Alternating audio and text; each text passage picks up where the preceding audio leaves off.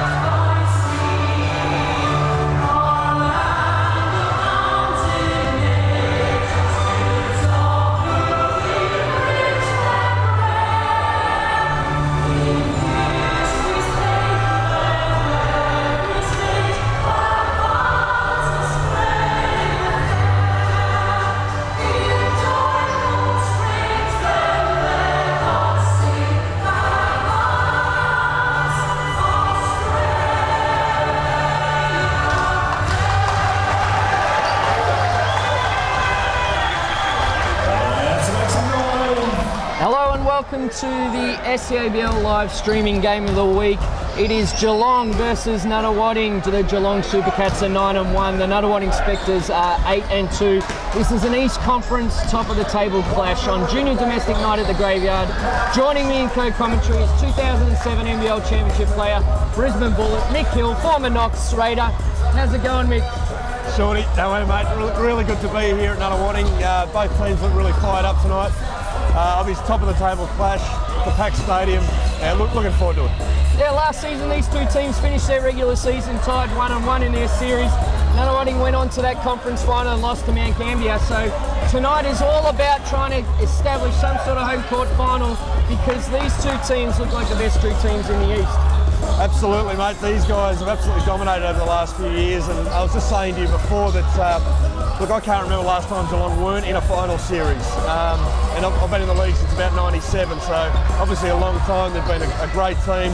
They bring through great talent through their juniors, always recruit well. Nunawading have done a great job of doing that as well in the last few years. Two significant omissions from the Nunawading Spectres tonight. We are missing, obviously, the Adelaide 36ers uh, swingman Mitch Creek. He's not going to be with the Spectres tonight. Yeah, look, uh, he's, he's, he's a big loss for them, but I think these guys are used to playing uh, together. they'll know what to do to get it done tonight against the uh, against the Supercats. And uh, Alex Van Rennen, who often comes in and plays a little bit of uh, defensive minutes for the Spectres, he's out tonight as well. And of course, the Geelong Supercats, they're without their head coach uh, Jamie O'Loughlin, who's away in China preparing the under 17 Australian junior team as they prepare for the World Championships. And filling his shoes tonight is the assistant coach Leon, uh, Leon O'Neill.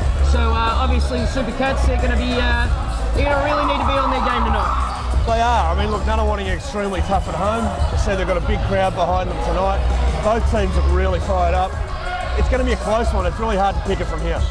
Yeah, obviously tonight the uh, the key in this game will be all about rebounds. We've got Eric Gaff, who was the NAIA rebounder of the year back in his college days, and just continues to do- dominate the inside paint for the Supercats, averaging nine and a half rebounds per game. And at the other end of the floor, uh, the All-Star Simon Conn leading the league now in rebounds with 12.3 per game. Uh, be interesting to see who wins the battle of the paint tonight. Yeah, look, I mean, uh, Geelong have, do, have got to do a job on both uh, Cameron and, and Conn. Uh, look, they're, they're extremely tough to guard, and when they're both on, Nunawading is tough to beat. However, probably from the other side, they've got to be able to contain Gaff as well. Gaff's extremely mobile. He knows uh, he knows how to get the ball. He knows he knows how to get after those rebounds. So it's uh, Cameron and are going to have to do a job on him as well. Of course, on a Saturday night here at Nunawading, the people come out to see the MVP of last season, Shane McDonald. He's averaging uh, 16.7 points per game and uh, six assists per game. Who do you think will get the job on McDonald tonight? Uh, look, I think uh, look, I think Nathan Herbert might have a go on him because Nathan is an extremely tough defensive player, uh, athletic. Owusu will have a shot in him as well. So, look, obviously a key from a guard's perspective is, is shutting down uh, Shane McDonald because he's a real facilitator and makes that, that whole team better. So if they can shut down Shane McDonald, they'll go a long way to beating them tonight. And it's no easy matchup for Nunawading either. They're going to contain the explosiveness of Mike Mercer. He's averaging 19 points per game and 3.8 assists per game. What a tremendous uh, athlete he is. And, uh, you know, from Nunawading's perspective, I'm not quite sure uh, who will get the assignment tonight. What do you think? Yeah, it's a tough one. I mean, we'll have to wait and see. But look, uh, as I said before, Geelong do such a great job of recruiting uh, people and bringing through their juniors. And, and Mike Mercer, again, another quality import they've brought in and, and, and fits in with their mix. So uh, it'd be interesting to see. Yeah, well, we're only minutes away now. We're, uh, we're just under the minute. This should be an exciting game. Hope you're enjoying the very first live streaming for season 2014. Nunawading about to get underway against the Geelong Supercats, and I know tonight there'll be plenty of Supercats uh, listening to the telecast, as well as they are always out in force, Mick, when they come to games. And right to our right here, we have a, a vocal contingent of Supercats fans. Yeah, we certainly do, and it's, it's very tough to play down at Geelong, but to their credit, every time they play away, they do bring a, between 100 and 200 fans to the game, which they've done today. So we're looking forward to see how they contribute to the atmosphere.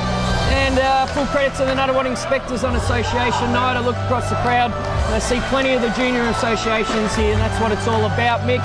Absolutely. Yeah, look, it's great to see all the kids here. We've got a good mix of families and, and kids coming to the game tonight. So that's what that's what this grassroots basketball is all about. It's about having some quality talent on the floor and uh, the, the, families that are involved in the club at a, at a grassroots level being able to come down here and, and see it firsthand. So looking at the starting lineups, we've got Shane McDonald at point guard for the Nunawading Spectres. Matt O'Hay would start in the two spot. Uh, then we'll have Tommy Greer playing in the three spot, Andrew Steele in the four, and Simon Conn in the five for the Geelong Supercats. Nick Owusu will start at point, Nathan Herbert in the two guard spot. Mike Mercer will probably swing in the three, with Ash Cannon at the four, and of course the rebound machine, Mr. Mobile, Eric Gaff at the five. About to get away here at Nunawading. The Supercats win the tap. And Nunawading, Tommy Greer takes Ash Cannon. Oh, Ash Cannon takes Tommy Greer low.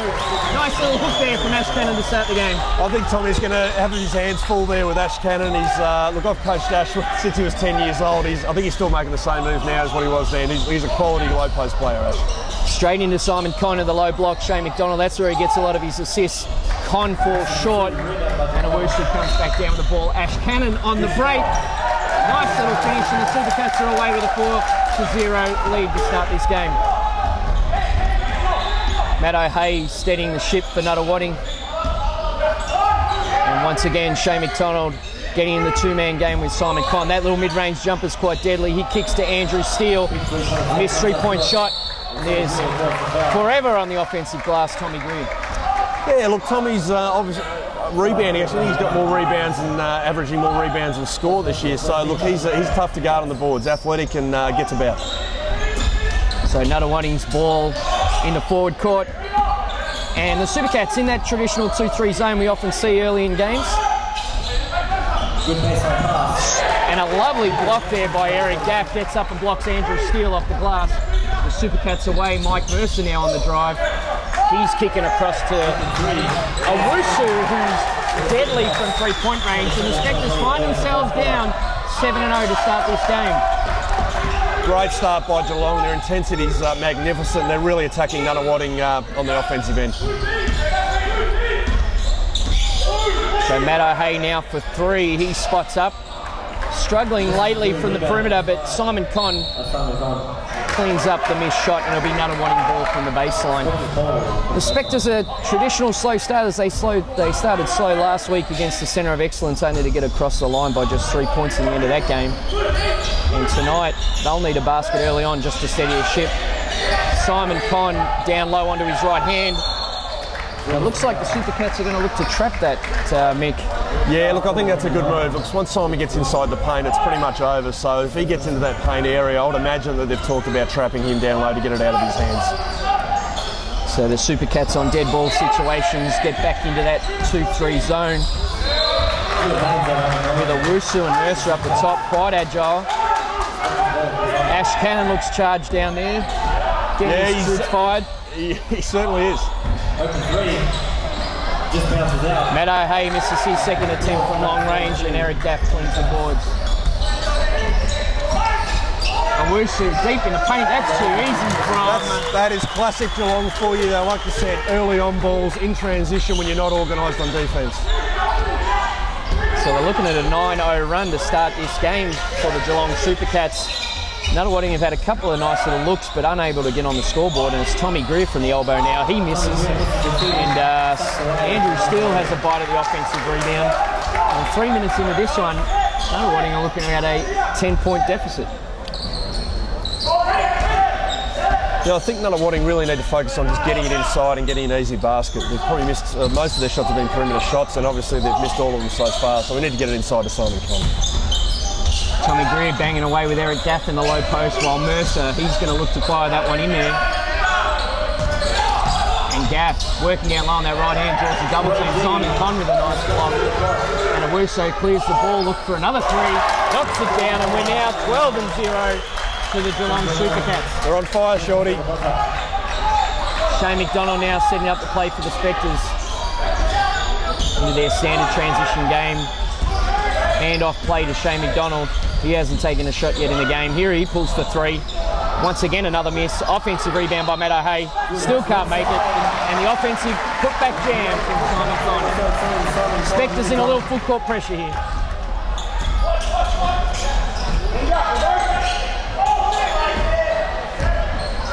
Looks like John Shepard's about to check into the game. Owusu looks to drive hard right and draws a foul from Shane McDonald. He's come alive here, Owusu, at the start of the game. Yeah, look, I think Nunawading really need to start junking it up here and changing the, the momentum here. I mean, Geelong have absolutely dominated them here in the first few minutes of the game. They need to really upset uh, Geelong's rhythm, which they've got at the moment. Chris Cameron has checked in the game for the Nunawading Spectres, so we have the two big men on the on the inside now for Nunawading. Matt O'Hay has checked out of the game,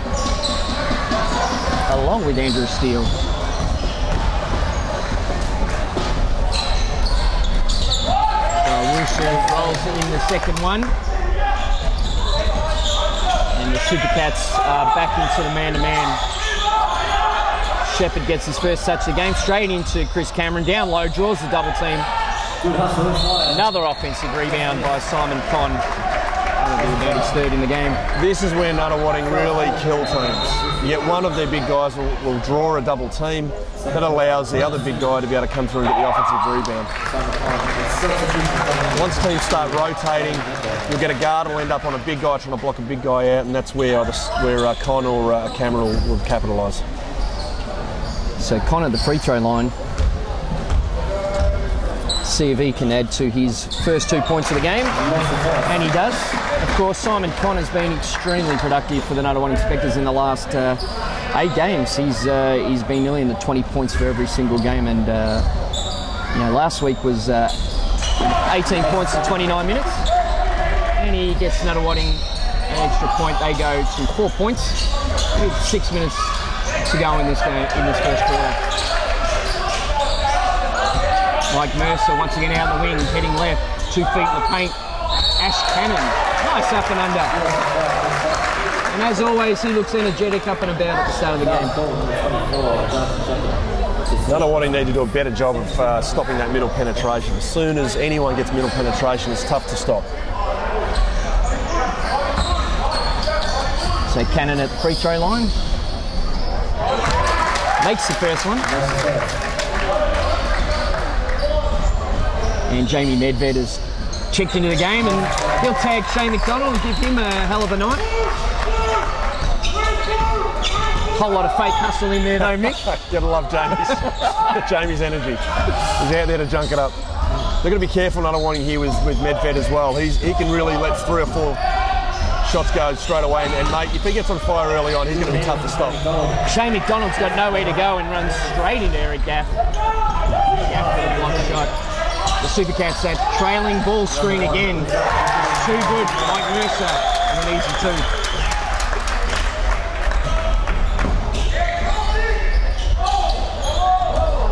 Just not a lot of room there in the paint for the Nunawading Inspectors. Every time they look to break in transition, there's just not a lot of room. Geelong doing a good job in transition. Cameron, his left hand look is no good.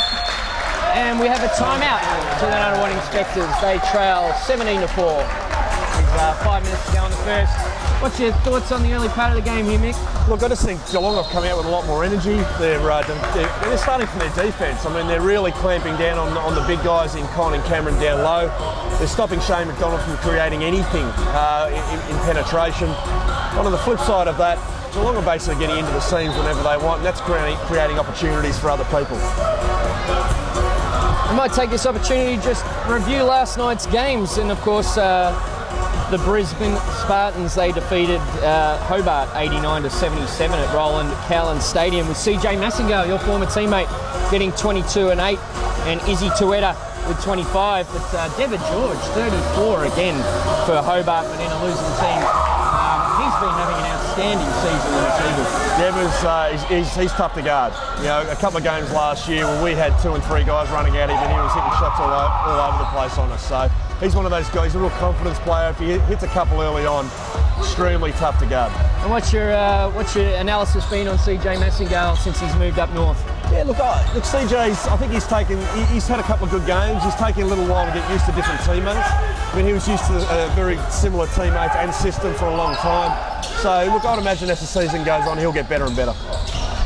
So, Nunawading straight into the zone defence, and Geelong able to find the little gap. And they extend their lead to 15 early on in this game. Jamie Medved continuing with the fake hustle clapping on defence. Mick Hill. Shane McDonald pulling up under that on ball. That'll boost his confidence and the Spectres narrow the margin to 12. McDonald's tough to guard. You go under the screen, he's going to hit the three on you. If you go over, he's going to penetrate and create or shoot the floater. So Nunawading stay in the extended 2-3 zone defence. It's Medved in the corner. Shane McDonald closing him out. And uh, Chris Cameron comes up with the board. So the Spectres away. They look Simon Conoff on the low post to get in the high pick and roll again with Shane McDonald and Chris Cameron. And it's Tommy Greer they find wide open on the far side. And he smashes in for three. Back-to-back threes for the Nunawading Spectres. They'll need a big contribution from Tommy tonight to, uh, to beat Geelong.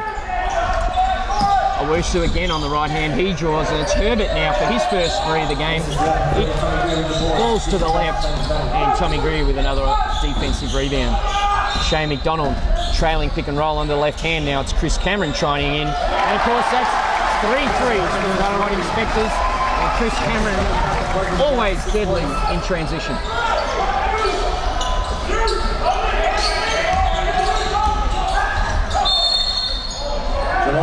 Cannon draws the foul Just shows you the quality of these two teams. I mean, you know, three or four minutes ago, Geelong had a good 15 point lead and were struggling. Sorry, and, and Nunawading is struggling, and then uh, couple of shots later, they're back up to uh, 13 points and only six behind. So you've got to really uh, lock down over extended periods of time. Otherwise, a good team like Nunawading will get back into the game. Checking into the game for the Supercats is Liam McInerney. He represented Australia at the under 17s, was also involved in the under 19s, and uh, just come back from Stetson University in the NCAA. So we look forward to seeing uh, Liam play. Obviously, one of Jamie O'Loughlin's many junior recruits that he recruits out of that Australian junior program. So we look forward to seeing him, and he's marking Chris Cameron at the moment. The handoff to Nunawading, Shane McDonald with the left-hand floater. Can't get it to fall. Three minutes to go in the quarter. Good close out there by Tommy Greer with Jamie Medved always threatening from the three-point line. Another one who continues to play the extended zone, switching man-to-man zone now in a 3-2, but Medved with a nice little pull-up. And that's what you're going to do against the zone. You've got to be aggressive, you've got to penetrate, you've got to shoot the gap. We see an offensive foul there on Chris Cameron. Our referees at the moment, these both the NBL and the CBL are doing a really good job of cleaning up the trailing pick and roll. And if you're not set, yeah. it's a foul. Well, that's fair enough too. I mean, the guards cop a, cop a fair bit on those sort of screens, so the big guys have just got to make sure they get their feet set. So Chris Cameron comes out of the game, replaced by Simon Conn, and we see Matt O'Hay checking back into the game for John Shepard. And we'll get our first look at Hayden Swano he gives Shane McDonald a breather at uh, about the same time every week. We see Shane McDonald get checked out of the game. Probably comes back in and never comes back out again. Herbert on the shallow cut. We've got Owusu turning out now along the baseline. He attacks the middle, going left. Simon Conn's there to take away the shot. Kick ahead pass from Nunawading down the floor. They trail by 10 with two minutes to go post touch with Simon Conn on the low block. He kicks out to Matt. The extra pass, great ball movement from the Spectres. Andrew Steele, the Nunawading Spectres Junior, deep in the corner. Excellent ball movement, another one, and that's what they're going to have to do to uh, get back in this game. Simon Conn sagging right off McInerney, following the scout. And you've got to say, Owusu is aggressive tonight. He is looking to drive at any chance that he has. Nunawading just need to do a better job of closing those lanes off. If they let Owusu, Herbert, guys like that get into the lane, they're going to have a tough night tonight.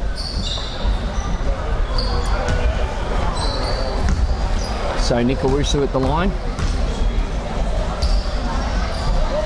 Was fairly quiet last week against the Canberra Gunners.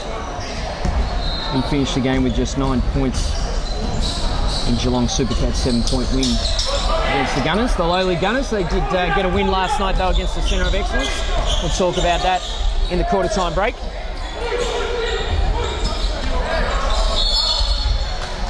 And there's another call that we see now called very frequently at this level when the postman squares up. If you've got your hands on him, that's a foul. Good officiating from our officials tonight. So back into the zone defence on dead ball situations, the Supercats.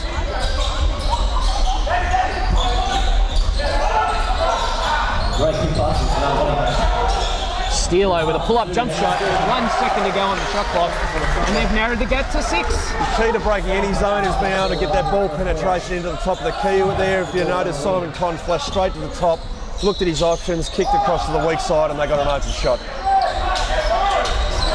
So Herbert with a nice little pull up too. The score now 25 to 17. Swano with the dribble entry down to Conn. He's once again looking to be aggressive on his left hand.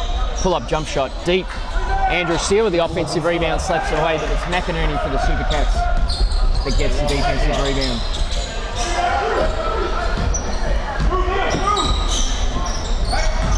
Low post to see Alex Giants checked in the game. His first touch the ball on offense, turnaround jump shot. It goes long. Tommy Greer with the rebound again.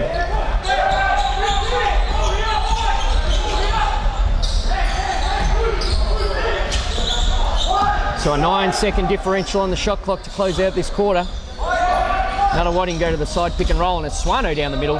Finds Tommy Greer on the baseline. He's automatic from down there in the short corner. Great no call by the ref then. There wasn't enough contact to really uh, warrant a charge there, so I thought it was a great no call. And Chris Reed's just come across to just warn the Geelong bench that that's their first warning for a potential flop.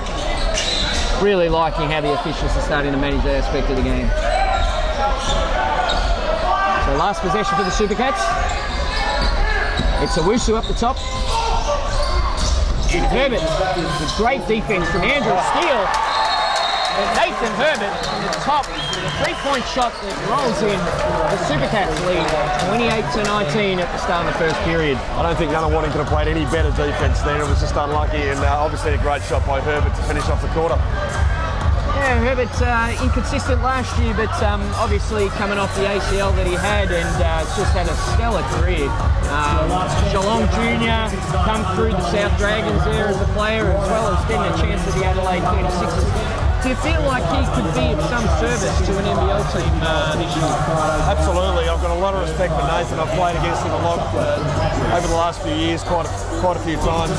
He's one of the toughest players to guard when he's on. So I think he can really uh, provide uh, an NBL team with a real spark off the bench. He's, a, he's an aggressive defensive player, he's strong, and he can shoot the ball. Yeah, the last two weeks his uh, shooting stats have been fantastic. He was six hillside uh, two weeks ago, and last week was five of 12 for leading all scorers in his for his team for the, against the Canberra Gunners with 26. So uh, certainly a player not wanting to have to watch tonight. Don't let him get, uh, get too out of control because uh, once he gets a little bit of swag about him, he's extremely difficult to stop. Absolutely. Look, he's averaging 16 and, almost 16 and a half points a game this year, which is a great stat line. Uh, just under five rebounds and a couple of assists a game. So, look, I'm sure, as like most older players, he'll improve as the season goes on and uh, and uh, be one of the uh, basically one of the core players that, know, that Geelong look look to as they reach the, towards the finals. So our leading scorers in the game for Nunawading, Tommy Greer has five points and four rebounds, while Simon Conn has four points and four rebounds. And uh, for the Geelong Supercats, Nick Owusu up to 11 points and three rebounds, and leading all scorers for the Geelong Supercats with Ash Cannon with six. So the second quarter is underway. It's Nunawading's ball. Andrew Steele feeling confident. And the ball spills clear, and it's Geelong's Geelong's team defensive rebound.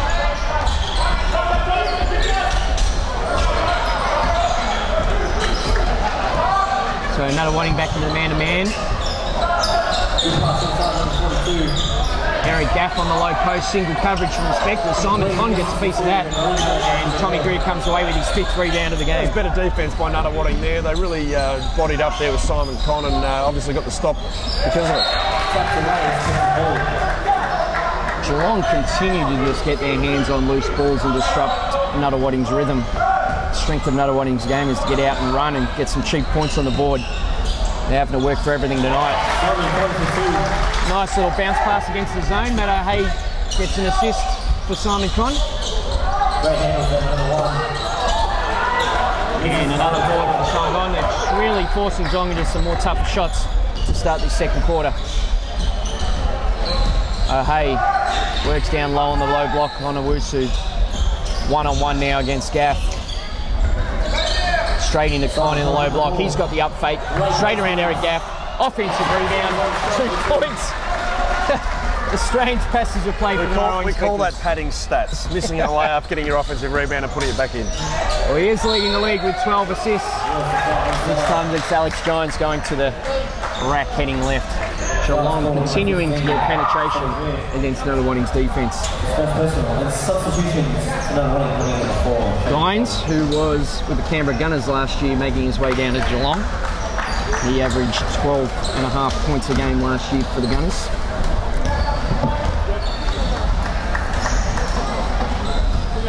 Gines spent his college career at Nova Southeastern, which is the same college as Shane McDonald. And from Nowra, New South Wales, And I just cannot believe what I saw, Mick Hill. I don't think they taught him that at, uh, at college. It is an, a straight air ball that will be plays of the week, no doubt, this week in the SEABL. Well, that should make the highlight reel. Shane McDonald finds Matt O'Hay. Good to see O'Hay feeling a little bit more confident. Great. Oh, an interesting call here from Chris Reed. Looked like he got all ball. What do you think, Nick? You can see the big fella getting back there, Shorty. Yeah.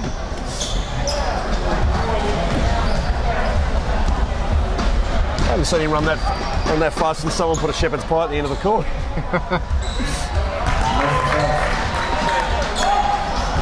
no, I'm only kidding, mate. I love Simon. He's a great guy. You know, he did a great job then getting back and uh, got called for foul in which I thought was uh, a bit dubious, but uh, he did well.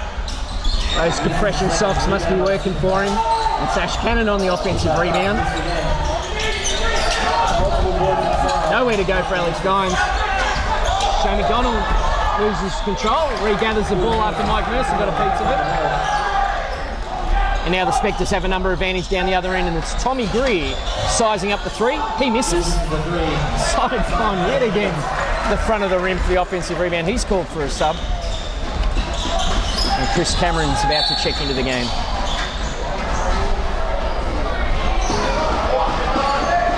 So Simon Conn up to eight rebounds in the game. He takes a seat, and the luxury of having two big men. Chris Cameron comes back into the game.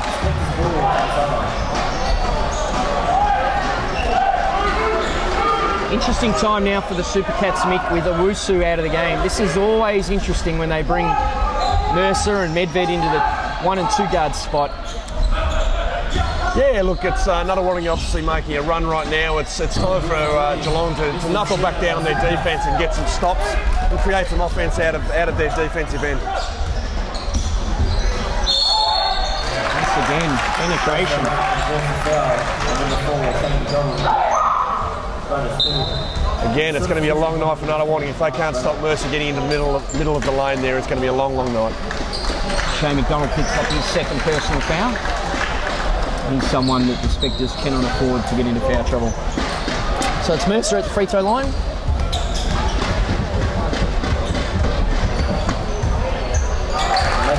Mercer having a terrific season last year for the Super Cats, averaging 20 points, 5 rebounds and 5 assists a game. And from the free throw line last year was 65%. He makes both of those to extend the Super Cats lead to 6 with 7.5 minutes to go.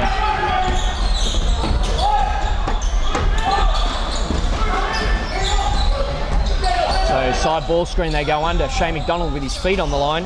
He misses the two. Chris Cameron with the offensive rebound. And they just continue to dominate the blast suspenders at the offensive end.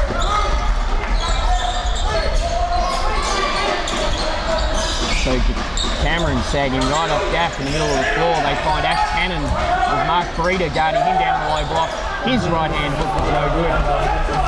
And the Spectres are away with a chance to narrow the gap to a single basket. And Medved just caught grabbing Shane McDonald's singlet there on the curl cut. There's nothing wrong with that, Shorty. I think if you can get away with it, you can get away with it. But obviously, uh, Medved uh, did it right in front of the referee then, which probably wasn't the smartest thing to do. Hey, you got to slow him down some way, Nick. Well, as I got older, mate, I couldn't guard him, so I had to, had to hang on to him so it's, he'd stay at my speed. So the reigning MVP or co-MVP of the league, Shane McDonald.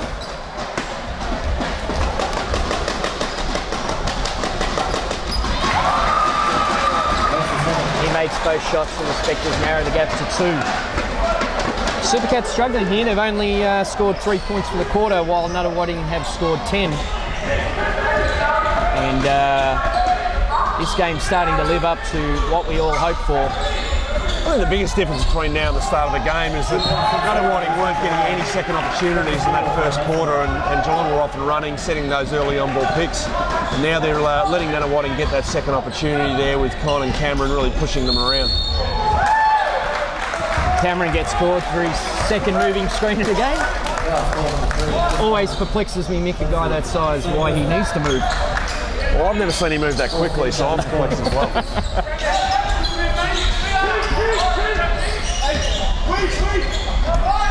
Mercer controlling the tempo at the point guard for the Supercats. Point guard's position.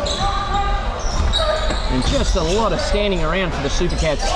Sees Ash Cannon drive left. Just not much movement on that last offensive possession. Shane McDonald loses the handle. Gets another piece of it, gets the ball back. And Andrew Steele looked like he'd regained possession of the ball, but the referee deemed that it wasn't off Ash Cannon and it was actually off Andrew Steele. We have a timeout, second for the game. The Spectres trailing by three to the Supercats. Nick, we might take a chance to uh, just check out last night's game against the Canberra Gunners in the Centre of Excellence. The Gunners took that one out 111 to 98, and it wasn't all easy for the Gunners. They needed a 24 to 14 third quarter to push themselves out. And uh, Jack McVeigh just continuing to be a standout for the Centre of Excellence with 15 to 17 for the free throw line for his 34 points. But it was obviously Garlo Green with 36 and 5 for the Gunners. Their import, who had 27 and 11 last week for Frankston doing the damage. And Matt Staff continuing in New Mexico State, tech, uh, New Mexico graduate from the NCAA last year, uh, finishing with 22 and 8. And last week was just unbelievable on the glass with 15 and 20 against Frankston. So good, good luck to Canberra. They've now got their second win. It's really good to see some of those younger guys coming through the ranks, and uh, I think bas- basketball in Australia is in great hands with some of those young guys. Yeah, I saw the Centre of Excellence in action here last week at Nunawading, and they certainly pushed the Spectres all the way in the final quarter. Uh, full credit to them, it was their third game of the weekend. But they were unable to get across the line with the Nunawading coming away with a three-point win. Back to live action now, and it's Mercer once again with that pull-up jump shot on the elbow. Nunawading really seemed to be struggling to contain that on-ball screen, so I think Geelong really need to keep going to it. Breeder chases it down. Nunawading trying to keep possession of the ball, and it's the Supercats away in transition. And it's a behind the back pass. Mike Mercer, Ash Cannon, for the N one. Bit of a razzle dazzle from the Geelong Supercats there, Shorty. Yeah, I mean, they, uh, they were desperate for the offensive rebound, but they exposed the backcourt as a consequence. I thought Ash, Ash Cannon did a really good job of being uh, moving around, not getting the charge there. As we all know, Ash is not the most agile of players, but he, he, he got moving there and uh, steamboated past uh, all the defence there for the uh, for the M1. So straight out of the timeout, the Supercats with five quick points, and it's back to a seven-point game.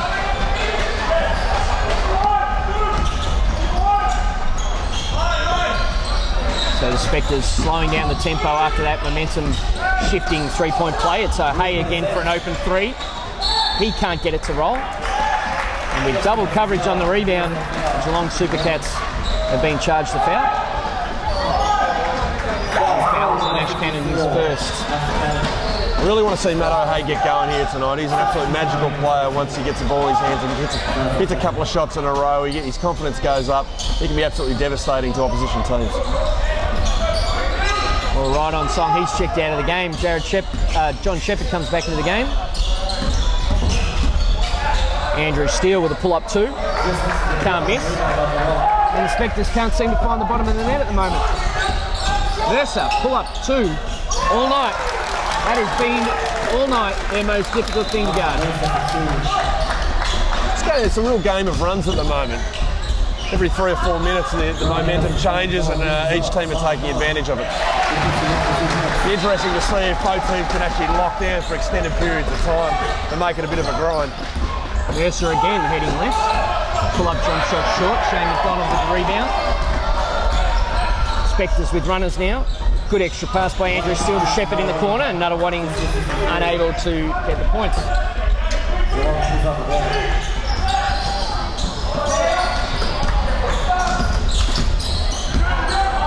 Steele marking Mike Mercer. High pick and roll, Medved. Simon Conn, I think we probably nearly needed to go to the video replay to see if his feet were all over the line there, Mick, but he's been able to fall over, take the contact, and go to the line for three free throws. Something you get told as a junior, never foul a jump shooter, especially as a big guy. You want your big guys picking up fouls down low when you're hustling for rebounds, not fouling three-point shooters out in the uh, perimeter. It's kind of become the flavour of the month, really, of every NBA Finals game you see on TV. There's at least one going on in the NBA Finals at the moment. I'm sure you've milked your fair share, Mick, for N1s. Well, I learned from the best, Derek Rucker, Stephen Black, two of the best guys in the NBL at doing that. Derek used to kick his legs out. I reckon he used to draw one a game. And it was the, the old vet move, and I think he got a couple of nice calls going his way because he was uh, getting on in age. No doubt the the free throw line could be tagged with veteran status. Jamie Medved, captain of the Geelong Supercats. And in the game comes Lewis Varley for his first action, 21-year-old from the Supercats program. And Tommy Greer's checked back into the game also. Supercats lead by 10 with four minutes to go.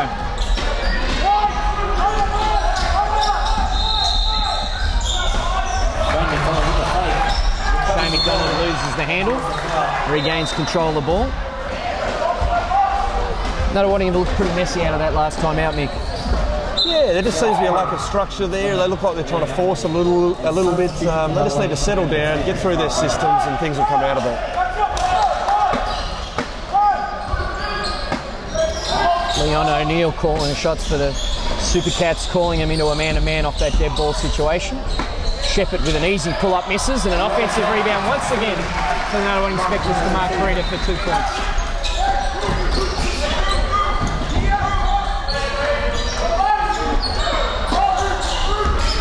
Gaff now controlling tempo. Herbert off the handoff.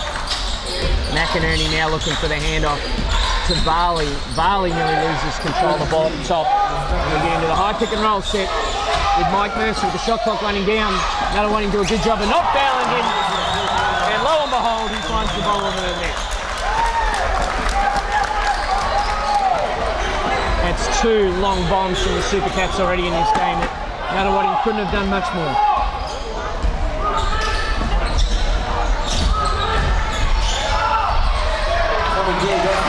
Great penetration by Tommy Greer there. That created that offensive rebound for Simon Conn by drawing that second guy. So the Supercats again, McInerney tries his luck from down low. Eric Gaff all over the back of Simon Conn.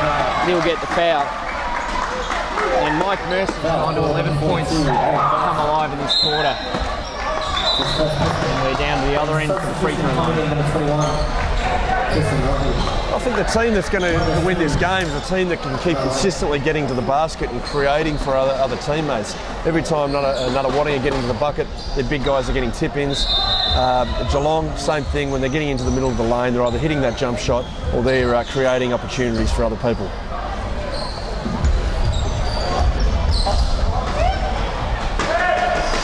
Simon Conn at the line.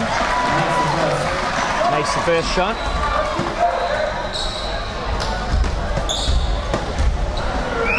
Conn with an outstanding season last year, 21 and 11, All-Star selection in SEABL. And uh, this year he's uh, on song again with 22, comes up with a lovely block. Gaff down low, that battle continues. He's unable to come up with it. Come up with a basket and John Shepherd for the Nunawading Spectres. Shane McDonald advances the ball. Spectres now settling into their offensive game. Tommy Greer with a touchdown in the low block with his nice little turnaround, Jay. Just can't make the short mid-range two at the moment, Tommy. Getting plenty of good looks. Hopefully his luck turns around soon. Another one Spectres hit again with an offensive rebound. And just a silly foul there from the young boy Varley from Geelong. Number seven, Lewis Varley. His first. Mark Breeder for the Nunawading Spectres. Nunawading Junior Mark Breeder, he was uh, the MVP of the SEABL D League in their last season. Geelong are going to be smarter than creating those sort of fouls when it's in, the bonus. I mean, early on in the quarter, okay, you, you can live with one of those, but not, not when it's uh, late in the quarter and you're putting someone to the line for two shots. Simon Conn, an offensive rebound again. Tommy Greer, no doubt, gets an offensive rebound. And Geelong, once again, struggling to clear the glass.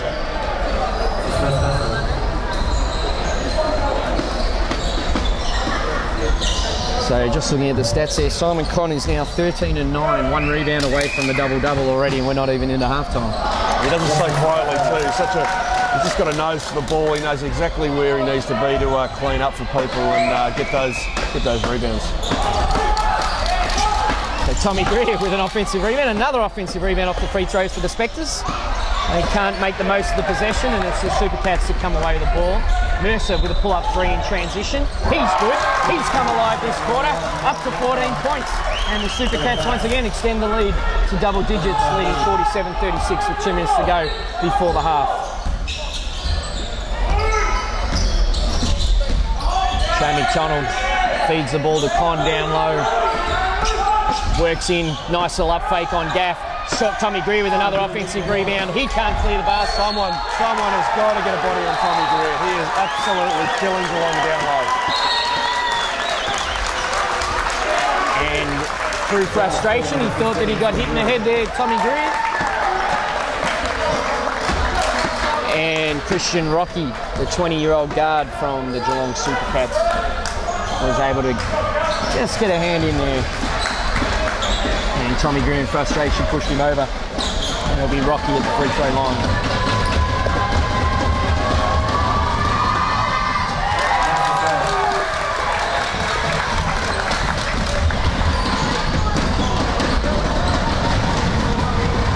Rocky at the free throw line. Steele coming for Shepherd. It's half time over there at Sandringham with Dandenong leading the Sandringham Sabres 63 to 49. We'll be keeping an eye on the other scores out of half time.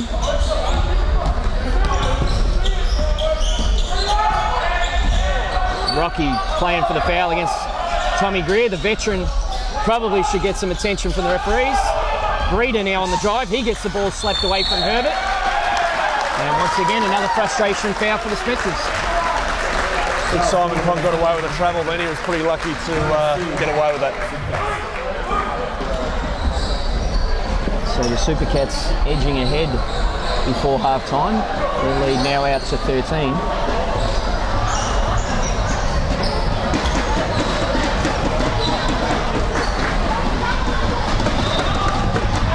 I hope I'm pronouncing his name right. I think it's Rochi.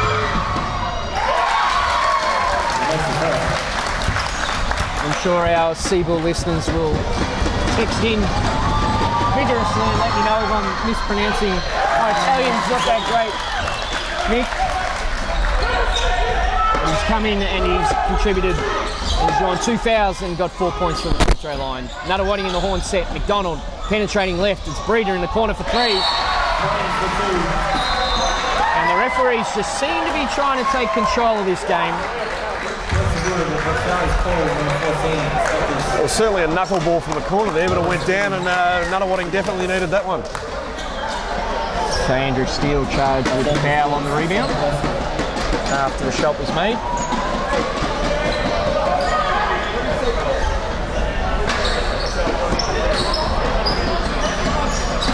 So after that timeout at the start of the second quarter, the Supercats have now added a good 20 points to the scoreboard, and Nunawading only able to score to, to score 10. So in that last six minutes, it's been all Geelong. They've done so without some of their main players on the floor. Geelong have got a great depth of players. They've done that without Herbert, without Ash Cannon. Just shows you how deep that team goes.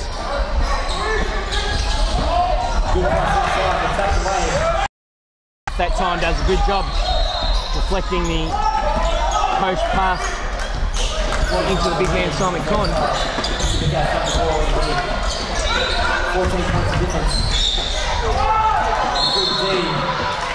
Good no call by the official there. It's quite interesting watching Gaff uh, trying to set an on-ball screen there and Simon Conn just giving him the, I don't think so. Yeah. So Leon O'Neill for the Geelong Supercats calls timeout. He wants to set up a play with 36 seconds to go. As The Supercats leading the Spectres 52 to 38. Nick, some interesting news overnight with the Brisbane Spartans announcing that they're going to throw their hand up for a NBL license, a bid to get back into the NBL.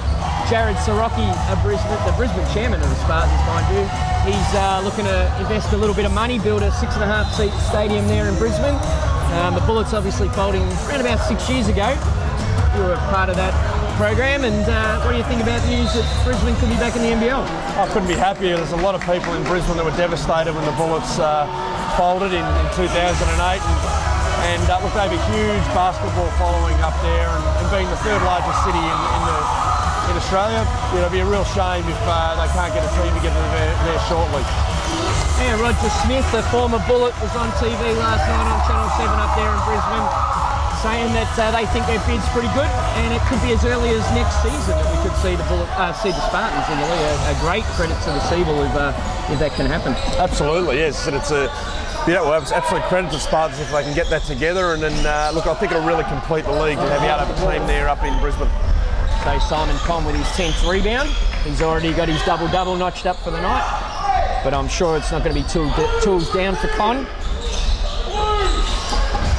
And the Spectres really need a momentum basket going I wouldn't imagine so shorty. He's still got a half to go, mate. So I reckon I'm assuming he's going to show up for the second half. Oh, you never know. It is domestic basketball night down here at Nunawading. I'm sure. Uh, I'm sure a few people down here would uh, put their hands up to grab him off, uh, off centre court here and take him down to court four down there. I just get the sense the officials didn't like the way the game was headed. Fair bit of narkiness coming into the game, and they've uh, started to, to blow the whistle. We have had a free throw fest for about the last four minutes of the game. Shane McDonald puts two away. And the last possession of the half will go to the Geelong Supercats. And none other than the guy that stirred the, the points run on for the Supercats, Mike Mercer. He looks like he's going to get the last shot of the game. One on one, Breeder up top. Mercer on the drive. He's no good. Shane McDonald with the rebound. A second to go on the clock. He launches from halfway. But unfortunately, it misses. And the Supercats go into half time with a 12 point lead, leading 52 to 40. Mick, your thoughts on that quarter? Yeah, look, I mean, this is perfectly suited to Geelong. They want to get up and down the floor, a 40 to 52 score. I mean, you just can't let Geelong have 52 points in a, in a 20 minute half. Uh, not wanting to uh, need to do a lot better job of, of, shutting them down, getting back, slowing the Wildcats, uh, sorry, Supercats down, making sure they don't get easy baskets. Yeah, it was an interesting quarter. And we saw that uh, Nunawading continue to struggle with the penetration game for the Supercats with guys like Mercer and Herbert and Owusu still able to get two feet in the paint. And uh, it hasn't been the Supercats long range game, it's just been the fact that they've just got some really uh, cheap mid range baskets. Yeah, look, Nunawading really need to start forcing Geelong towards the, the corner of the court instead of letting him go middle. You really limit the offensive uh, team's ability to score when you can push them towards the corners. You've got post players in there that are going to act as a double team.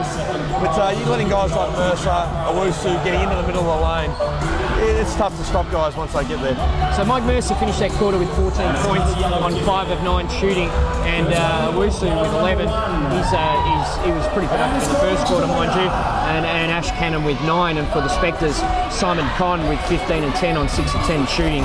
And uh, Shane McDonald, their next best scorer on 7. Uh, Nunawading there see if they can pull up the offensive rebounding boards to check that out there.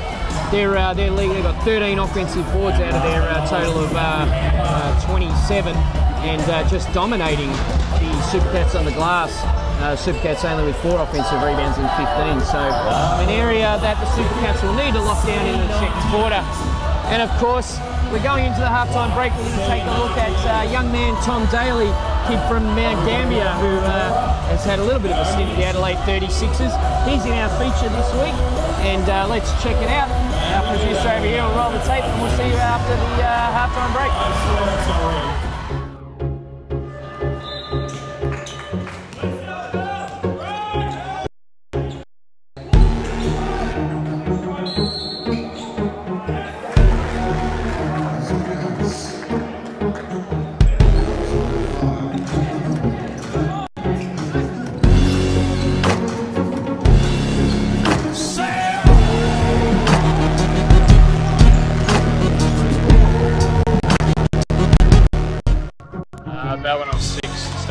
And uh, playing in.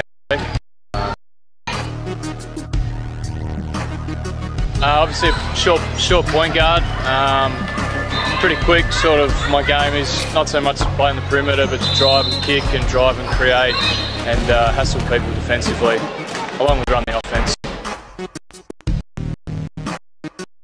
Uh, I've, I've had a few. Um, I had Marty Clark Sixers recently, um, who's really good for my development. But Scott Butler and um, a lot of coaches down at Sturt uh, helped me along the way as well.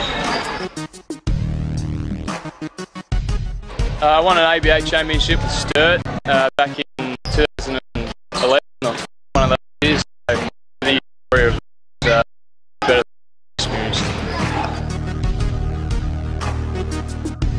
Uh, no, it's always nice to be recognised, but it was sort of uh, we, it was day grand and we had bigger fish to fry, obviously. So um, it was sort of you know nice, but it was back head.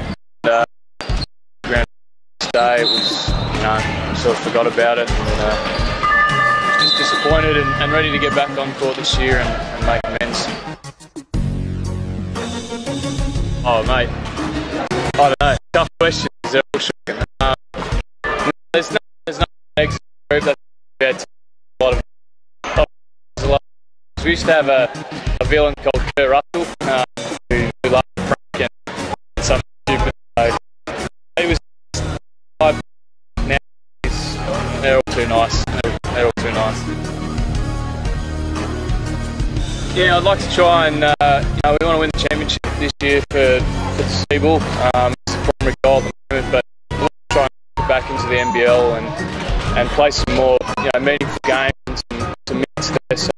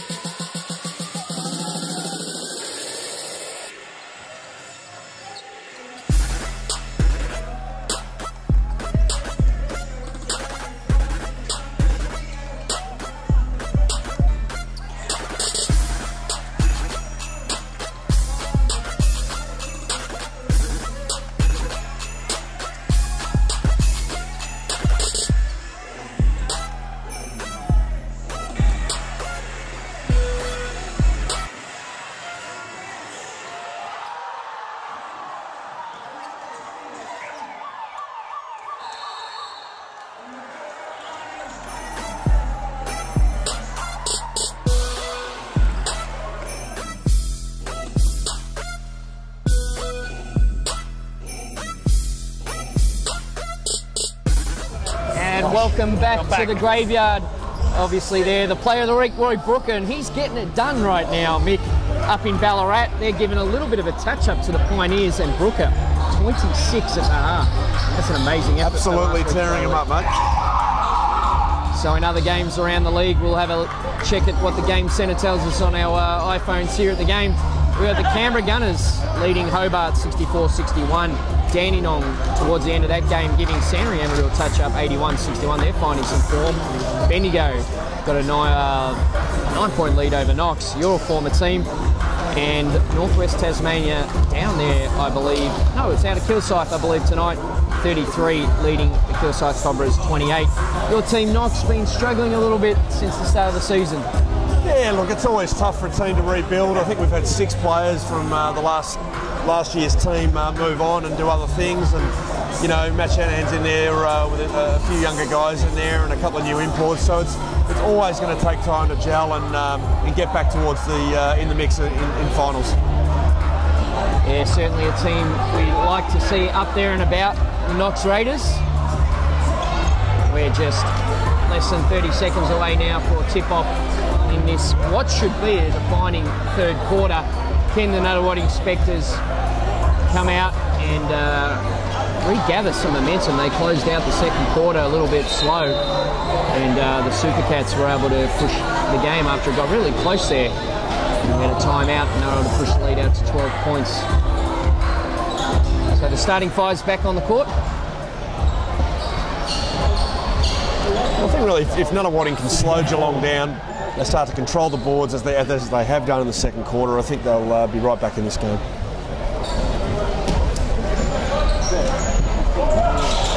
Underway. It'll be the Super for Cats through Owusu. The Spectres come out in the man-to-man. And instantaneously, the microwave, Tommy Greer. Not much of a microwave, he's often on uh, auto defrost. Microwave with no power. She could be that.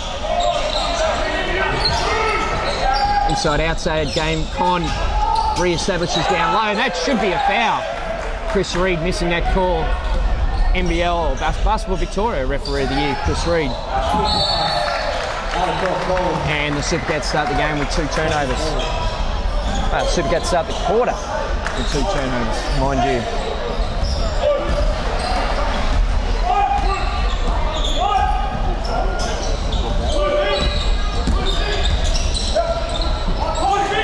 Side pick and roll, McDonald, they go under. Misses Sandra Steele on the offensive glass. Shane McDonald now on the drive with his left-hand floater. Blocking foul called on Ash Cannon and he gets the three-point play, uh, three-point play to send us underway here in the scoring department for the Nunawading Spectres. Shane Shane McDonald's one of the only right-hand players in the league where you'd rather push him right. Yeah, He's absolutely lethal going to that left floater there and, uh, and pulling up for the jump shot.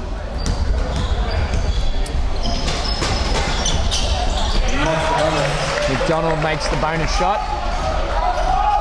And hopefully the Supercats can get a shot away now to start this third quarter. Matt O'Hay has the job on Mercer. Good rotation from Shane McDonald. We have a jump ball. That'll be another turnover. So we start the third quarter with three turnovers for the Geelong Supercats. Not a good start, Mick. No, look, I think they uh, coming out a little bit slow. I think they came out a lot better at the start of the game, so they, they need to refocus.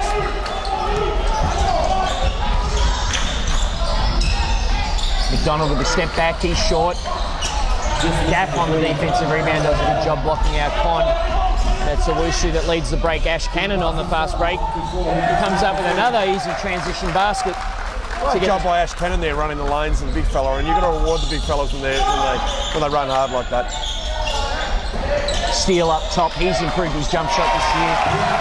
And he gets a nice open look at the top of the key.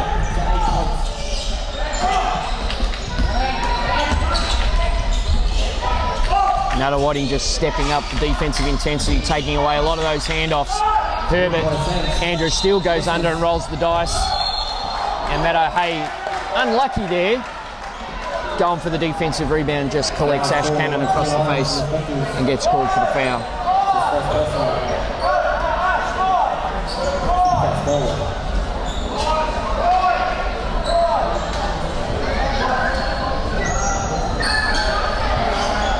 Owusu, the only player out there on the court in foul trouble, he had three at the half.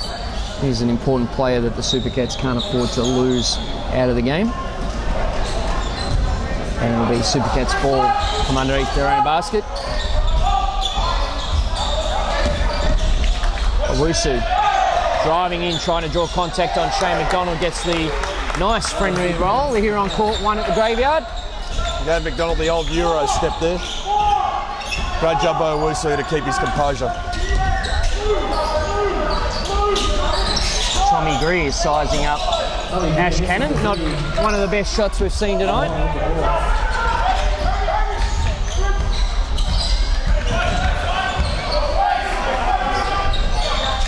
Has been quiet all night.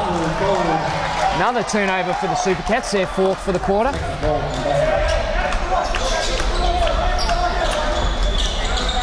Just struggling to find any rhythm in this game. It's been the guards for the Super Cats that have done most of the damage.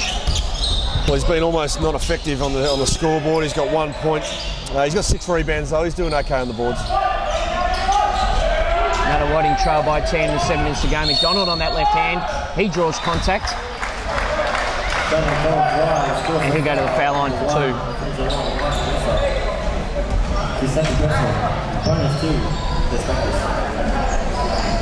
So Shane McDonald's only been out of the game once tonight. He's been relatively quiet the last couple of weeks. He'd uh, finished the game against Bendigo with nine, Frankston with eight.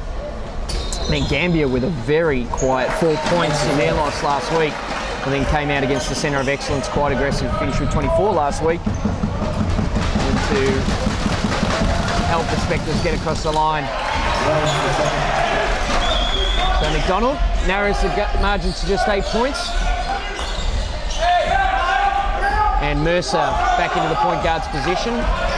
Both teams seem to be uh, switching from man to zone quite often, just trying to junk it up and throw the, uh, the other team's rhythm out. Cannon tries to go left, nothing there. Herbert, his three misses. Geelong come up with the offensive rebound, and it's that man again, Mike Mercer, with the offensive rebound and the easy kiss off the glass for two.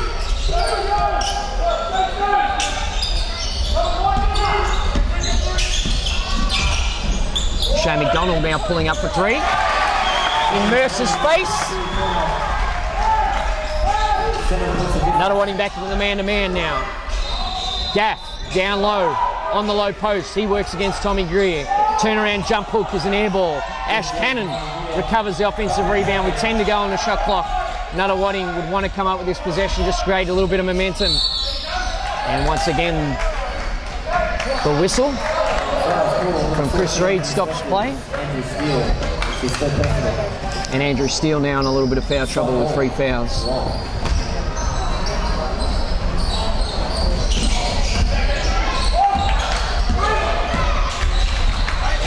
Super Cats once again throwing the ball down low. And Ash Cannon. What was that, Mick Hill? That shot looked more uncomfortable than these Nunawading seats, Shorty.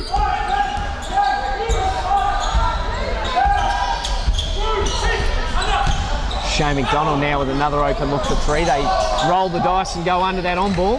They got lucky there, Geelong. I mean, they can't be giving Shane McDonald that many open looks. It's Ash Cannon again in the low post. Let's see if we've got another one of those little right hand dimes. Unable to secure the rebound. It's Owusu now for three. He misses. And Nunawading now have their own defensive rebounding problems. Herbert with the third shot attempt for the Super Cats. Again, Shorty, it's coming down to second opportunities and, uh, and that gives guys open shots. Ash Cannon after those two little baby hooks, if you could call them that. Call them for the sub. Alex Gines about to check into the game. Oh! Oh, and that's an interesting call. Tommy Greer. Charged for the foul. I'm not sure what he did wrong there, Mikkel. Yeah, I thought Ash might have pushed off with the forearm there and Tommy was just running beside him. I thought Tommy actually got away with one earlier on, but they let that go. I thought, uh, yeah, very unlucky to get called for a foul there. Well, let's look for the leveller. Is that. Uh, Uh, it's my pet hates there, Shorty. I hate those ones. It's coming. This could be a moving screen here in a second. Not to be. It's Mercer with the pull-up jump shot. He's short. Nunawading still struggling to come up with the defensive rebound. And there's the leveler. No, it's not. Let's have a look. The foul is called Mark Breeder for the Nunawading Spectres. I thought we nearly had a... Uh, Nunawading are going to be really careful here. It's a 12-point deficit. Uh, Geelong look pretty good here. They look a lot more comfortable in this game than what uh, Nunawading do. So uh, just look to see if Nunawading can uh, get back in the game in the next few minutes.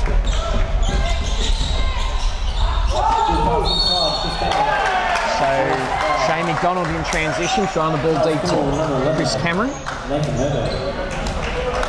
And that's the third team foul for the Super Cats this corner. And it'll be ball to Nunawading. So Jamie Nedved comes into the game. John Shepherd's due to check in. Stilo now on the left. He pulls up for a nice mid-range two. Doesn't get the roll. And Eric Gaff is able to secure the defensive rebound. I reckon Eric Gafford had more chance of pushing down the end wall than he would Chris Cameron out of the key there. Uh, he's, uh, he seems to be struggling down low. The Super Cats in red tonight in their away strip. Gaff sporting the black socks. And it's Shepherd off the end in ball play for three, narrowing the gap to single digits. It's Nunawading now trailing by nine. In straight into the zone. Big shot there by Shepard. I mean, they really need him to get going if Nunawading have a chance to get back in this game. He can really heat up for him. So Herbert, the danger man here, filing out to the corner. Contested three is short on the rim. Dines comes up with the offensive rebound. Nunawading have given up five offensive rebounds this quarter. And it's those second shot opportunities that's killing them. Still can't secure the ball. As the Spectres finally, through Breeder, steadies the ship. Herbert doing a good job harassing Shane McDonald. Chris Cameron at the top of the key in one of his favourite positions. Offensive rebound now to Shepherd. And the Spectres steady play, trailing by nine with three and a half to go. Chris Cameron down low, single coverage, right hand hook. Just Gaff unable to move him off the block. As easy as you like, just moves his way in. He's patient and gets it done. Nunawading in the man-to-man. Giants coming back to the left. Breeder does a good job helping there. Just Geelong just seem to be forcing it now, trying to bust their way through. Again, the second half really, really continuing like the first half, a game of uh, game of momentum. Again, Nunawading come back with another shot, back to four points. No team can really get a stranglehold in this game at the moment, and uh, both teams doing a great job of getting back into the game. Alex Giants gets a little talking to, and Chris Reed wants to take control of the situation.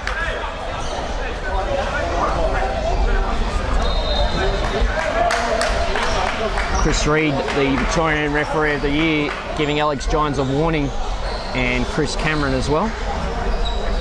That was a huge three by Tommy Greer on the break, and there was not one single Geelong Supercat around him.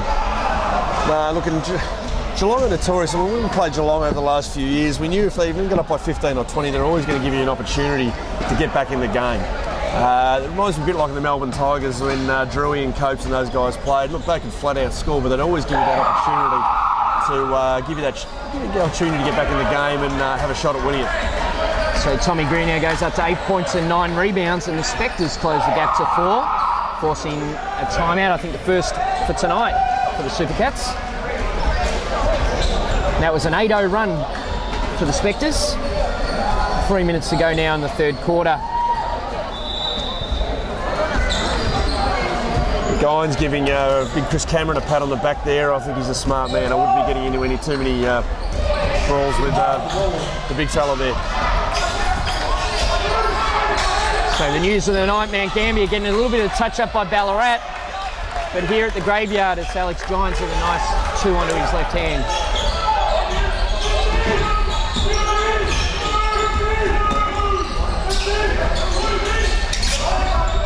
Into their shuffle offense. Shepherd up the top. He misses the long three. And it's Owusu that comes away with the ball.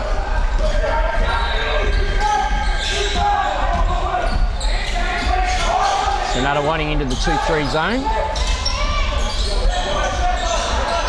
Owusu didn't like what he looked, didn't like the look of the three. Guyans now on the elbow, looking for back-to-back baskets, and it's Mark Barita, the Nunawading Junior, that comes away with the uh, defensive rebound. Mum and Dad will be proud of that one, Shorty. McDonald gives her, uh, gives Gines a little bit of a shake and bake, but unable to come up with the two. And uh-oh, Jamie Medved feeling like he should be a little bit lucky on the break. Feel like Nunawading sense that they've got a little bit of momentum in this game, Mick. Yeah, they're just starting to take control. I think um, they still don't want to get into a bit of a running match with Geelong because that's when they're at their best. I think they need to obviously secure the rebound, come down, run their sets, get it into the big fella, and really, really tire them out. I can't see anyone in the Geelong squad that can guard either Conn or Cameron here. So Ash Cannon checks into the game. He takes out Nathan Herbert. Chris Cameron, who was very effective for the Spectres, taking out Simon Conn there in the third quarter. He gets a well-earned breast, uh, rest. He might just check his Domino's pizza order for later on this evening, Mick Hill. Oh, be, I'm sure there'll be an extra extra size of meat there and uh, and uh, some extra sauce as well, mate. So Shepherd, nothing but fresh air from the corner. And I feel like both these teams just feel a little bit anxious. One team trying to take the game, the other one trying to hold it. Definitely. Both teams are starting to uh, tighten up here. I can see, I can, see the importance in this game. As Geelong throw away, uh, throw away a silly turnover there and um, give another one another chance to uh, get closer. So it's Geelong's sixth turnover for the quarter. Nunawading, with a minute to go in this third period, have a chance to narrow the gap. They go into their horn set. McDonald off Tommy Greer. Tommy Greer on the flare. He's wide open, no one around. Once again, nothing but fresh air. Must be a bit windy down that end, Mick. The microwave was definitely turned off in their play. McInerney, he gets the end one. And Andrew Steele picks up his fourth foul. It was a great steady for John. Both teams are really anxious at the moment. They really need to, both teams need to settle down, get through their plays and get some uh, solid post, post entries. So Liam McInerney from Melbourne, Victoria, in his first season with the Geelong Supercats. Goes to the line for the N1.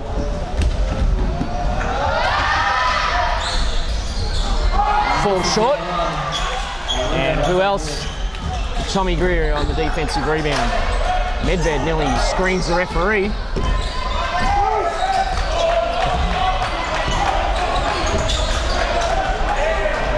Simon Conn. Andrew Steele now, put on the line for two. Narrows the margin back to six. One shot to play, 17 seconds on the game clock. Big shot by Nunawading there. They really needed that going into three quarter time.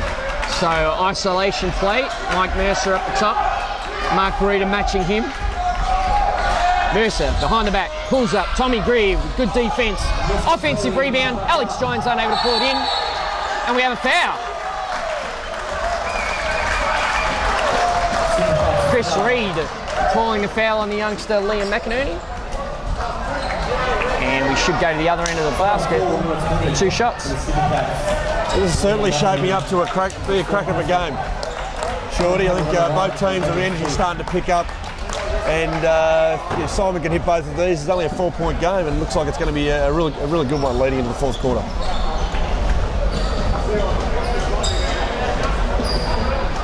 So Simon Conn,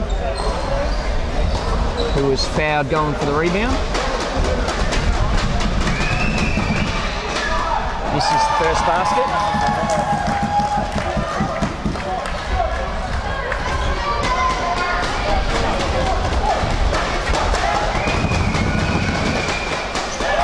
Makes the second and we go into three quarter time with a five point game. Just taking stats here, Mick. Shane McDonald, 3 of 11 tonight, a little bit uh, off his personal best with 15 points. Simon Conn with 13 and 11 now, only acquiring the one additional rebound that quarter. Tommy Greer with a double, uh, close to a double double with 8 and 10. And for the Supercats, it's Mike Mercer with 16 and 4. And Nick Owusu with 13 and 6. Give us your take on that quarter, Mick. Yeah, look, I mean, again, I think it continued from the first half. A lot of momentum swings. I really thought Geelong were going to take a stranglehold of that game, and, and Nunawading just managed to uh, get the stops that they needed to and hit some big shots. Hit a couple of threes there, ending with Tommy Tommy Greer hitting that one uh, a few minutes ago. So, look, they're, they're both quality teams. They both know how to win basketball games, whether they're up 20 or down 20. So, uh, I look to see both teams really go at it this, this quarter. In other games around the league tonight, the Ballarat Miners surprising everyone with a 14 point lead going into the third quarter. Roy Brooker there still causing some damage to the Pioneers, the league leaders. Uh, undefeated this so far this season. In other games, the Hobart Chargers are leading the Canberra Gunners 79-75. Dandenong have closed out that game against Sandringham 95 to 81 and uh, Bendigo extending their half-time lead now, 55 to 14 against Knox. And uh, out of Kilsyth, they're still trying to make a charge at the Northwest Tasmanian Thunder after half-time, just starting in the third there, uh, out there at Kilsyth. But in this one, it's the Super Cats. They lead the Spectres 67 62. Mick, what's your tip? Where do you think this game's going to go from here? I, my prediction, I think Geelong will get it done. I think they've got too much got too much scoring power in this game, and I think, look, if, they, if the momentum stays the way it is in terms of the up and down, I think Geelong will get it done. They've certainly looked a better team all night. Now it's Gaff once again with an air ball. He has been off tonight. And just starting to look a little bit disinterested with his body language. Not the same zip in his game as he started uh, with tonight. Oh, that's pretty much to be expected when you shoot a four foot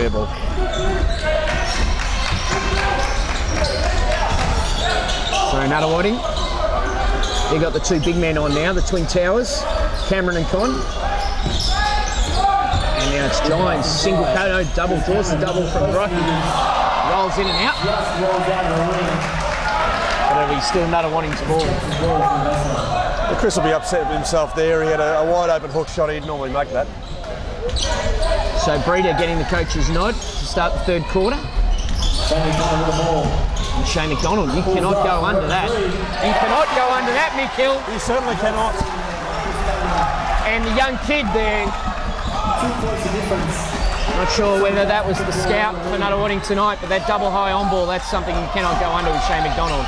Cannon now with another, I don't know what it's called, right hook from down low. You hope you didn't teach him that, Mick. No, mate, I only teach the ones he makes. Now it's Breeder driving in, and suddenly the one inspectors the home team, lead by one point. Mark Breeder with the three down deep in the corner. And look, Mark Breeder's parents are going absolutely crazy at the moment. What a moment it is for them. The SEABL D League MVP from a few seasons ago. Now closing out Giants. Mercer uh, throws one up. Two seconds to go on the shot clock. A lucky roll. And the league changes back to the Supercats. Good bucket by Mercer there. They really need to lock down now. They need to, to stop the efficiency of uh, Shane McDonald setting up. They get the ball out of his hands, make someone else do something. Not sure whether Jamie O'Loughlin is up in China tonight, the coach of the Supercats with the under 17 Australian team. Listening to our coverage over there with his game last night, then the Australian under 17s going down by two. Shane McDonald gets his own rebound after a miss, and a block is charged against Ash Cannon. And the Nunawading Spectres crowd like that, he now picks up his third foul. Jamie will be spitting out his fried rice watching this live uh, live scores at the moment, seeing they had such a big lead and uh, now uh, Nunawading getting back in the game. It's um, yeah, it must be hard for him to be over there in China not being able to be here and do something for his team. Well, Leon O'Neill, the assistant coach of the Supercats, has done a great job tonight, still calling the shots down here. Nunawading setting up their in ball play. And this one's really started to tighten up. The Supercats with a narrow one point lead. Off the back of two threes, Breeder and McDonald. Cameron kiss, spits the ball back out to Nunawading. Tommy Greer now one on one on the wing, takes the drive.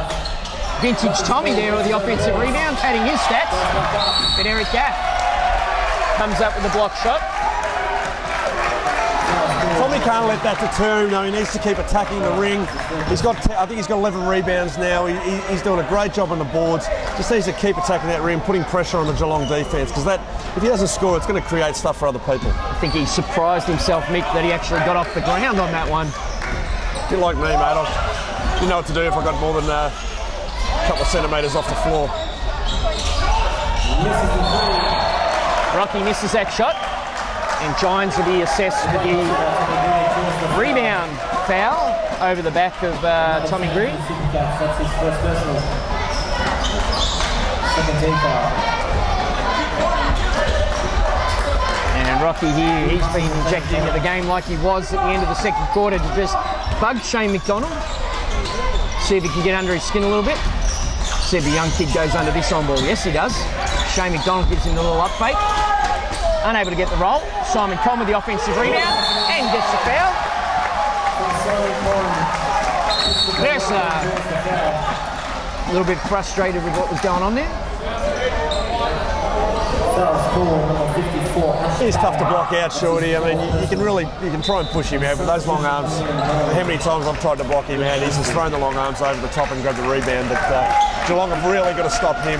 I think he's a key, him and Chris Cameron. If you can, you can get them out and don't give them those second opportunities, uh, Geelong will be uh, in a lot better shape towards the end of the game. Leon O'Neill was spoken to by his assistant coach to let him know that Ash Cannon has four fouls, but uh, he turned to his assistant coach and said, "Not tonight, son." Being an assistant coach myself, I, uh, I know that sinking feeling of, "Hey, head coach, seven minutes to go on this one. Key player there that you need to sub out of the game." It looks like Herbert now might be coming into the game to uh, alleviate Cannon. He certainly does. Good assistant coaching.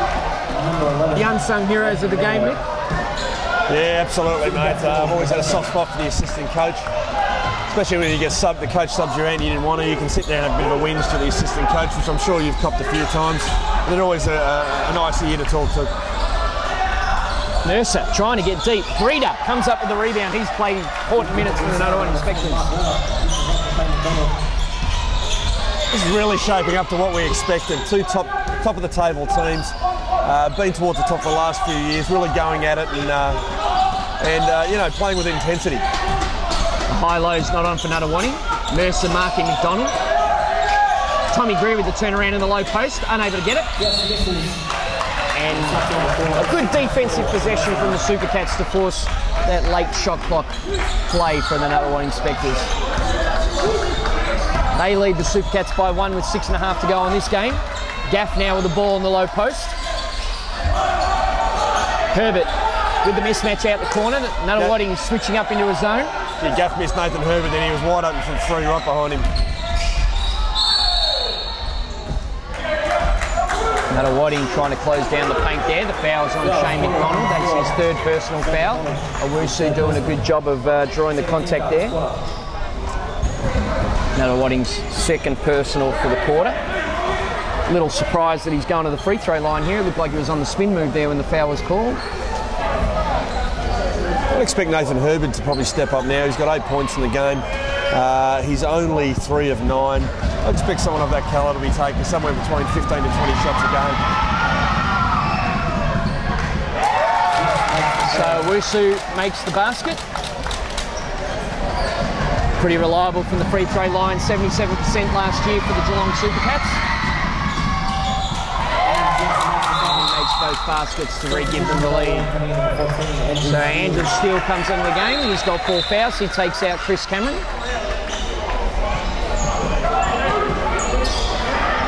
Just assessing Simon Conn's forearm there to see if he has any blood. Nice little sneaky move from the Supercats to alert the referee of that. Just looking at Chris Cameron, it looks like they've put him on the oxygen, ma- oxygen mask just before the end of the game, just to pump a bit of oxygen in there, get him primed for the last two minutes of the game. So Gritty down low, that's the travel. Just drag the pivot foot on the spin move. So important now for Nunawading to learn from the mistakes of quarters gone past. You know, Yes, absolutely. Uh, look, I think um, if they can, this sort of tempo suits another warning. I think if they can keep it this way, they'll be okay. Turnout set from the Supercats. Owusu with the ball. He looks to take Shane McDonald baseline, pulls up for the two.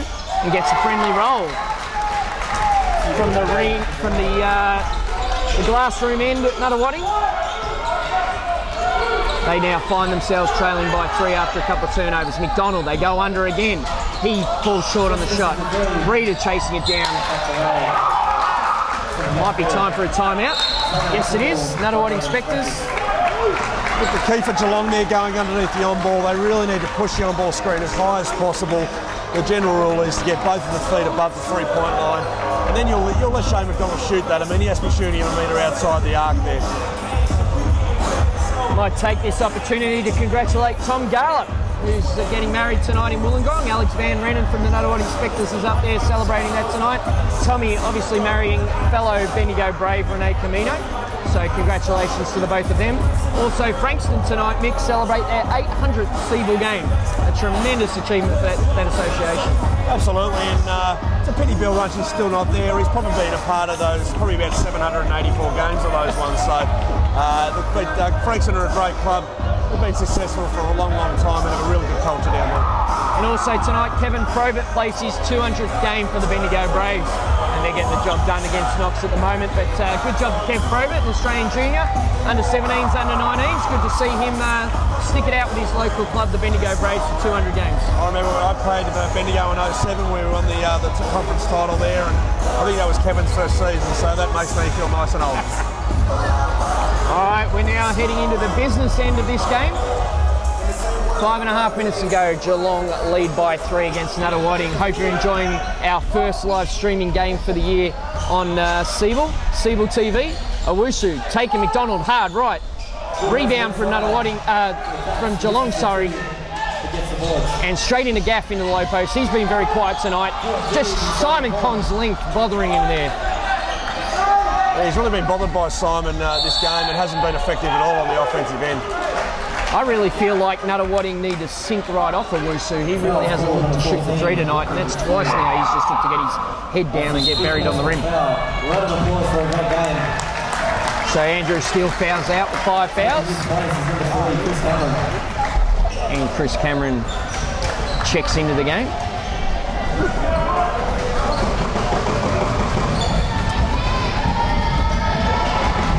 So at the free throw line.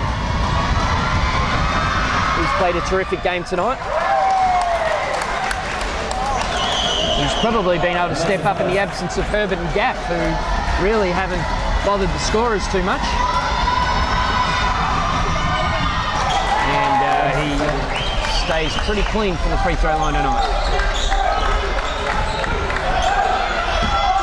So Nunawading, after leading briefly by two, now find themselves down by five.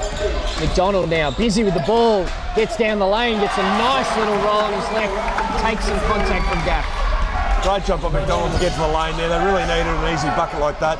On the other side there, I mean, Geelong really need to stop him getting to his left, and especially down the middle of the lane. It's just too easy.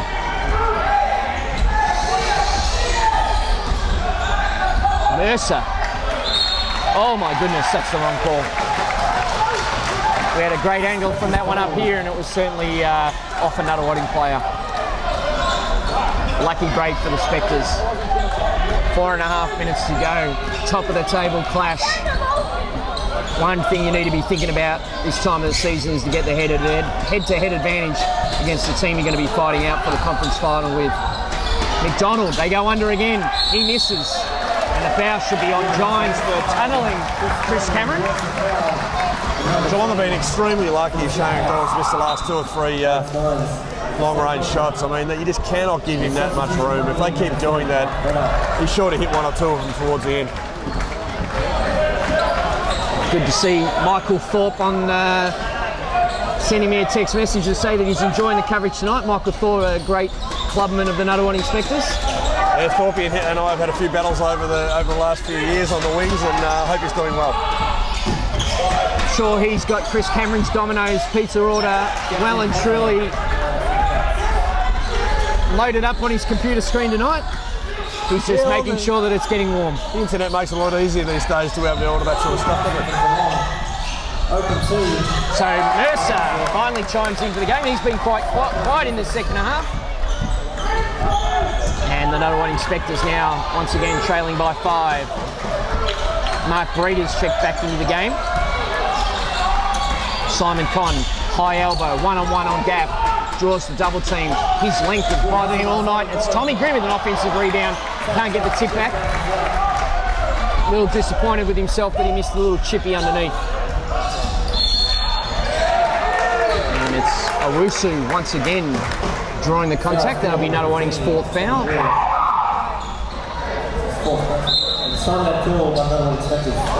Are absolutely dominating this game with 19 points and, and still as aggressive right now as what he was at the start of the game. And he's really stepped up in the absence of, of Herbert scoring uh, and Ash Cannon. And he's just doing a great job. Most definitely, and it's uh, you know at the top of the show we are talking about how uh, important Eric Gaff was to this team, and he's 0 of 4 tonight. Um, mind you, he's got the seven rebounds, which is a great effort, but uh, you know a very quiet night. I feel like Simon Conn's length has really bothered him around the basket. Yeah, he's really struggled to uh, to handle the uh, big fella down there. And look, I think he really needs to be able to step up and be able to hit that mid-range jump shot. I think that'll open up his game. You can't back Simon Conn or Chris Cameron down. If, you, if you're relying on that to score, you're going to struggle. Be interesting to see the Super Cats continue to go under McDonald too. Like you said, uh, just throughout that little patch of the game, that's rolling the dice right there. Yeah, absolutely. You're really uh, leaving it up to the guys, aren't you, when you go under the, that many on-ball screens?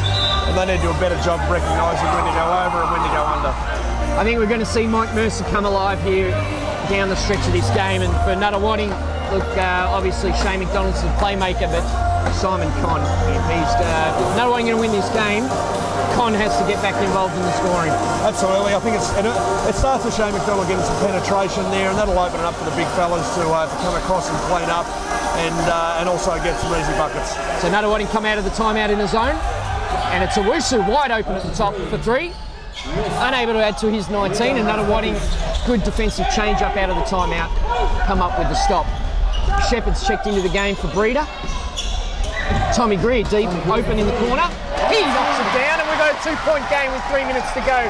The Spectres 75, Supercats 77.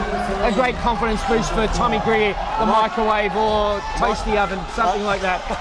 The microwave running at full power at the moment, Shorty. Cannon forcing a little shot. He's fouled, and he'll go to the line. Simon Conn with his third personal foul. His third personal.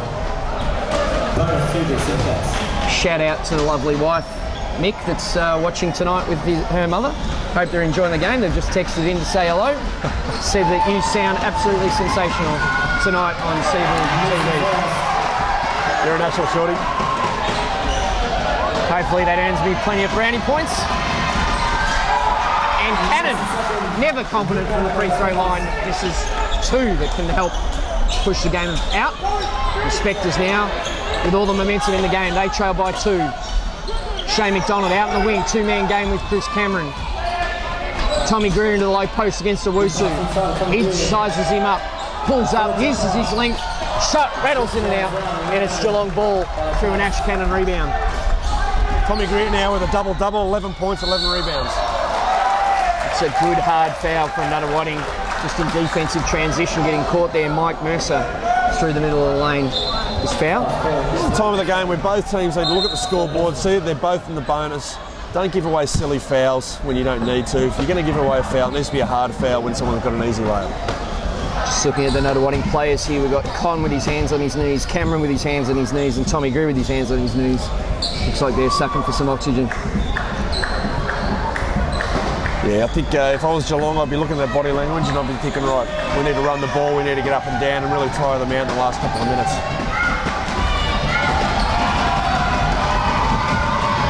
So Mercer on the free throw line. Mike Mercer played for Georgia and South Florida in the NCAA with the Geelong Supercats last year after playing Pro B in Germany. And uh, Big free throws, big free throws by Mercer there. important stage of the game. Two minutes to go.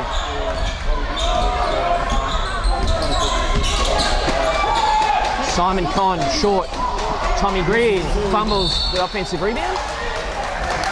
And I just don't like those calls. I think when two players don't have full control of the ball, last thing you want to do is blow a random whistle.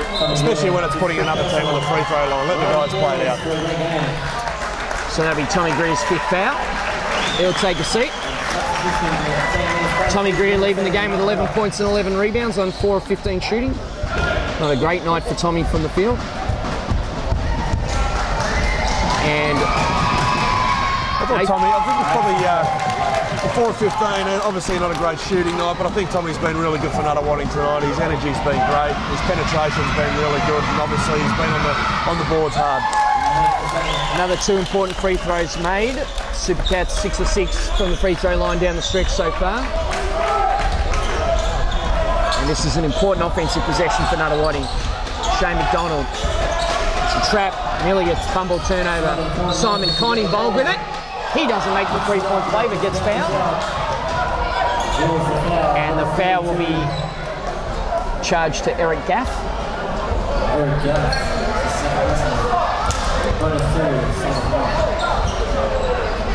And so it's Simon Conn on the line. Conn tonight with 17 points and 11 rebounds. How important is free throw shooting down the stretch, Mick? Well, it makes and breaks games. You know, you need to be able to make the, at least uh, 80 to 90 percent of your free throws to, uh, to win consistently. And obviously, this is when it matters most. So Nunawading now go to 16 to 21 from the free throw line. Geelong are 25 of 35 tonight from the line. Lots of point production for the Supercats off the free throw line.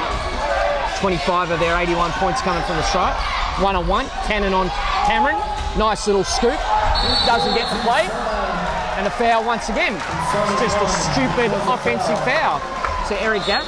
We talked about that a couple of minutes ago. Talking about not doing, uh, committing those sort of silly fouls and putting teams to the line, and that's exactly what both teams are doing at the moment. So Gaff, once again, frustrated with the way he's playing. Tries to justify to referee Chris Reed what took place. It's all a matter of fact now as Simon Conn lines up for his free throws. Jeff might as well be talking in Chinese to Chris Reed. I don't think he really cares.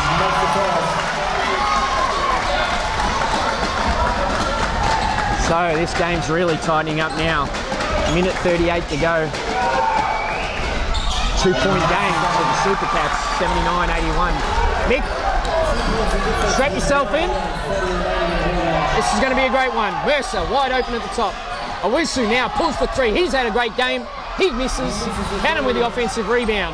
Little dump off to Owusu, and he comes up with a cheap two points off the offensive rebound for Geelong. Owusu now on to 21. Ash Cannon with a huge offensive rebound there and finding the open man in uh, in Owusu. Great play. High ball screen for Cameron on McDonald, but they go deep to Simon Conn. He goes on the left hand. Gaff comes up with a block shot. Welcome to the game, play. Eric Gaff. And Simon. Simon Conn coming up limping after that possession. I suppose if you don't score, you can help your teammates out in other ways. Great example there of Gaff coming up with an important block shot. And does he have his first two points of the night? No, he doesn't. And Ash Cannon desperately trying to save the rebound. It'll be another winning ball. Looks like Conn's got some cramp. I thought Gaff could have finished on the left there. He had, if he had his head going on the left, he would have made an easy bucket. But then he made it harder for himself coming back to that right hand. 45 seconds to play. Nunawading. Shane McDonald, you're going to go deep on that. Shane McDonald for three. Been talking about that all night. And suddenly now the Spectres are within one point with 40 seconds to go.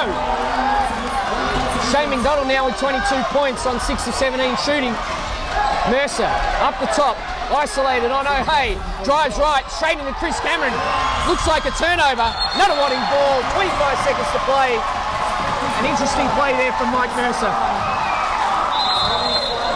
Geelong are too stagnant at the moment. They're relying on one-on-one ability and talent. They need to be able to run through their plays and get a good shot. Now, Mick Hill, I know that you're going to be a great coach one day. They've been going under that on ball all night on Shane McDonald, and there's the consequence right there. Yeah, look, I, I think uh, if you're Geelong right now, you're talking about what you're going to do with that on-ball screen because that's going to make or break them tonight. Uh, we, as I said, we talked about it uh, the last quarter and a half, about them going under. They've been rolling the dice right there and there. Shane McDonald makes them pay, but uh, they need to be able to do something different then. Get it out of Shane's hands, make someone else beat them. Uh, Spectres were in exactly the same position last week against the Centre of Excellence. They were down one with 30 seconds to go. Tonight it's 25, and the play was run for Shane McDonald, and he got a three. So will they go back to him? Very interesting. Very surprised if anyone else but Shane has the ball. They'll run everything through him, and if he can't shoot it, he'll try and get someone open. But again, he's just hit a three. He's full of confidence. You've got to make him give it up, make it hard, make that pass hard, make someone else hit an open shot. Look, Matt O'Hay, John Shepherd both haven't had shots for quite a while. I'd make them shoot it while they're cold. So the two deadly perimeter shooters and uh, the two interior players for the Spectres in. Shane McDonald catches the ball deep, always dangerous territory. Shot clocks and game clock are aligned. It looks like Nunawading are going for one shot. Shane McDonald comes off the high on ball. It's Matt O'Hay, looks it off, kicks it back. Shane McDonald, 10 seconds to go. They're definitely going for the last shot now. Simon Conn down inside. He makes the two. Five seconds on the clock. Find out to the Geelong Supercats. Shane McDonald, unbelievable patience there. He could have taken that shot at the top. He knew what time was left on the clock. He took a couple of dribbles, threw it down to the big fella who got an easy bucket. Great job by Shane McDonald there. What you see there, Mick, is just an experienced team. We have a team that has won the conference championship before. They missed out last year going to the finals, but uh, you know, right there, you know, you got Matt O'Hay, experienced player, 200 plus game player. Shane McDonald, who will be a 200 plus game player, and then Simon Conn down in the block, just experience all around the floor. And five seconds to go in this game, they lead by one. Yeah, they didn't panic at all, you know, they just basically kicked it around until they got a really good shot. We talk about experience, an inexperienced team would have taken a rush shot at the top there or on the wing. They, they, they all knew how much time was on the clock and got themselves a great shot. So assistant coach Leon O'Neill, he's got all the pressure on him now. He has to draft up one final play. Wouldn't be surprised if Mercer, Herbert, they're the guys that you're going to be looking at to uh, to finish this. But Owusu has had a fantastic night. Yeah, look, he has. I would imagine Mercer will get the ball here and go to work and guys will spot up.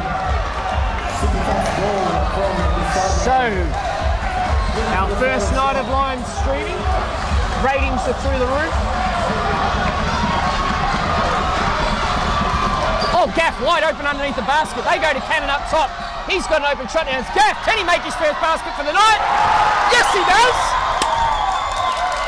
No timeout for Nunawading. Shane launches the three. And Eric Gaff hasn't made a basket all night. Comes up with a short mid-range two. unbelievable. I think that's the first bucket he's hit all night, isn't it? That is unbelievable. That's absolutely devastating for Nunawading. Eric Gaff finds himself wide open on the on the short corner there and knocks down the game-winning shot. It just shows you it doesn't matter how bad you think you're playing, keep your head in the game. You never know when you're going to get an opportunity to uh, to hit a game winner. Absolutely. So the Geelong Supercats come away with a one-point win. We're going to get some uh, comments from uh, some of the players here in a moment, so stay tuned. It's a tremendous win from the Supercats. And what a game from uh, two, of the uh, two of the league's best teams. They went at each other all night. They challenged each other. Both teams responded when they needed to. And uh, yeah, look, Geelong sitting, obviously hitting that uh, that shot at the end to get him over the line. But, um, look, you really couldn't split the two teams tonight, could you? Throughout the course of the game, they uh, they were both sensational. But the fans here are giving a big round of applause, and so they should. So David Beaver from the Nunawading Spectres has come up to join us. We'll get him on our mic uh, in a moment. So stick with us. We'll get some thoughts from the coach, David Beaver. Dave, uh, commiserations on the loss. Uh, unlucky there that uh, Eric Gaff comes up with the final basket. They were his only two points of the night. That's the game of basketball, isn't it? Yeah, I mean, I think in the end we weren't sure if we were going to go man or if we were going to go zone, but we thought the zone we could dictate who was going to shoot the ball, and he was one of the guys that we wanted to shoot the ball. And yeah, I mean, I I couldn't, I don't think we could draw it up any better. I mean, he hit, he airballed that same shot by about three feet the time before, so. You know, I think our guys fought back pretty hard, and uh, you know that really bad slow start, and then we had a lull in that second quarter for about three minutes. But other than that, it was you know good spectrum basketball the rest of the time. And uh, obviously tonight down the stretch there, did you uh, go for two for one or just want the last shot? What was the? That was was a lot earlier than what I thought. I'm not sure. Maybe the confidence isn't as high as that what I thought. I was going for the last shot. And then, you know, our first play that we were running was supposed to be done at like, you know, eight seconds left, and we did it at 17.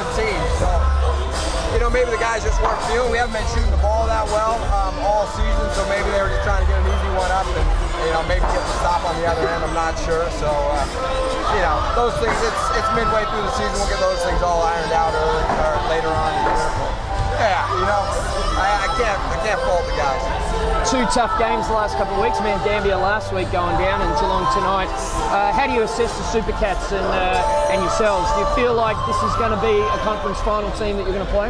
Yeah, I mean these, these guys are deep. I always say, that we're deep as well. These guys, there's nobody that you can kind of leave.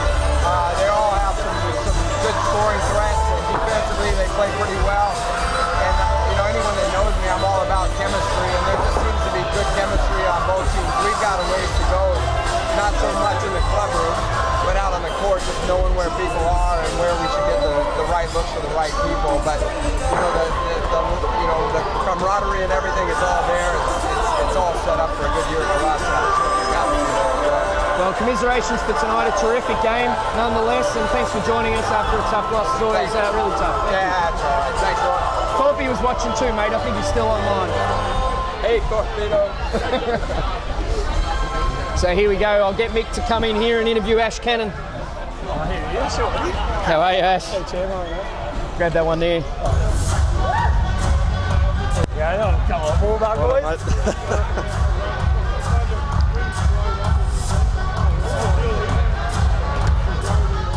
Ash, congratulations on a, a sensational win. Um, look, you guys really came out strong early on. Was, that, was that a focus with you guys in the, in the locker room? Yeah, absolutely. Our starters, we hadn't had a uh, good start basically all year, um, and I think that, that was a massive. We got up, we got up for the game tonight. I mean, not wanting a absolute phenomenal team, and you know we give them a lot of respect, and we came out accordingly. Uh, we knew they were going to make a run, and they did because they're a quality team, and uh, got a great way to finish though. Yeah, look, it was a, it was a real game of momentum. Uh, you guys would get out and get a bit of a 10 to 15 point lead. To come back at, at you guys, and I thought you guys did a really good job of uh, handling their, uh, their their runs at you, and uh, and obviously they got ahead at the end. But uh, what a great job at the end. And Eric, we were talking about Eric before about uh, he was struggling a little bit offensively, but he'd uh, hit a big shot towards the end there. Yeah, well, Eric obviously he's a, he's a professional. He uh, he's out he's out in the gym every day. Shooting jumpers, shooting jumpers. Uh, but he, just, he plays a role in our team. That you know he's a very reluctant scorer. Uh, so we didn't draw that up. It's just you know if you have the faith of a guy who shoots you know 500 jumpers like that a day. Um, you know, just happy to that shot went down. It was a great battle between him and Connell night. Fantastic. Longest arms in the league. Absolutely, mate. Look yourself. I thought you had an excellent game. Bunch of rebounds. You had, and I think you had 15 or 16 points. Look, mate, I know how tough it is down there with those big fellas, and, and I thought your hustle was a huge contribution to, to you guys winning tonight. Yeah, yeah, thanks, Mick. Um, no, it, it, obviously the role I want to play this year. Uh, made a concerted effort to uh, lose about seven or eight kilos from the start of, from last year. I think it was a couple of kilos from Canada uh, put on, but. Uh, no, and then you play against a guy like Chris Cameron, and then you've got Andrew Steele's coming off and he's shooting threes. You've got to be able to rotate between them. But yeah, just that, uh, yeah, get hustle, jumping around, that sort of stuff, get that energy. Hopefully that uh, helps us road. Can I just ask one quick question? Yeah, mate. Where did you perfect that fadeaway running hook shot? It's rubbish, isn't it? No, no, no, love I don't know. It's, I guess it's just in the genes, mate. It's just in the genes.